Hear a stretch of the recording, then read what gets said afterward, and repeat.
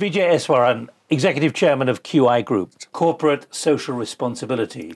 Correct. Do you believe in corporate social responsibility? There are many who say it's hogwash. Not only do I believe in it, I think it's essential, it's a pillar of our business. If a company doesn't give back, both to the community where it is in as well as to the globe uh, in total, then it is in part doomed to failure. So, what's your principle about, about how you use your profits? Charities where we just wrote a check were the easiest things to do. And I think a lot of companies fall into that trap just write a check. You're saying that's not good value for money.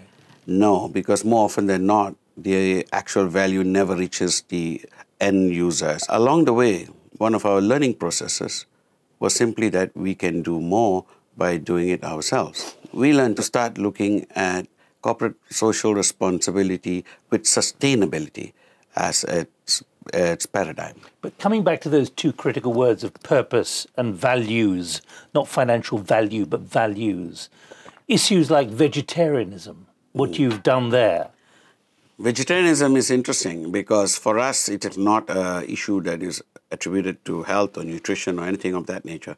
It is simply one of the principles that Gandhi advocated, which he called ahimsa.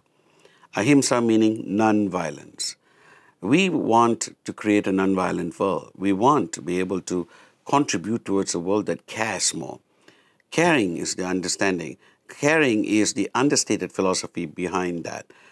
If we cared for the environment, cared for the, the other living beings on this planet as much, and learned to care for each other, ultimately, we would change the world we would live in.